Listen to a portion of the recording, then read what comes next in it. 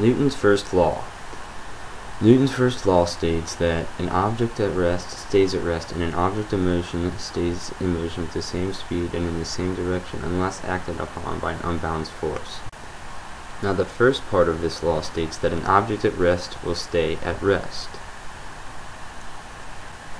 As seen in this video, Bridget sitting in the left swing seat is an object at rest staying at rest.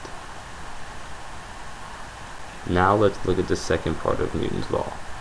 An object in motion stays in motion with the same speed and in the same direction. We can now look at the same video except this time focus on Rainey sitting in the right seat. Rainey represents an object in motion staying in motion. You can also see that the direction that her legs are kicking is the same direction that the motion is going in.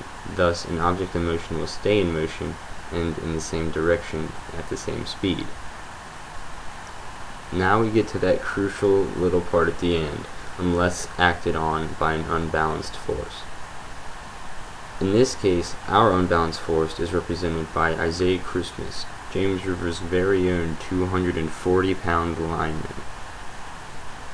You can now see Alex representing an object at rest staying at rest, and you will soon see Isaiah Christmas enter from the left side of the screen as the unbalanced force. Let's watch what happens when Isaiah makes contact with Alex. Now as funny as that was, let's watch it again just to see how the force of Isaiah as the unbalanced force affects the yoga ball and then affects Alex.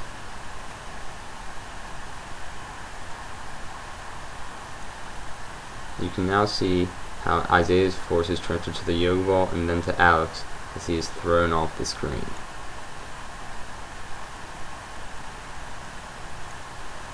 And now just for a recap for the three parts that I broke Newton's law down into.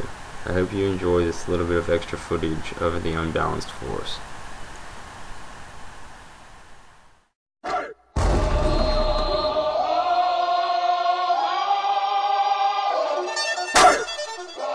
Here comes the, here comes the, here comes the, y'all don't really want it like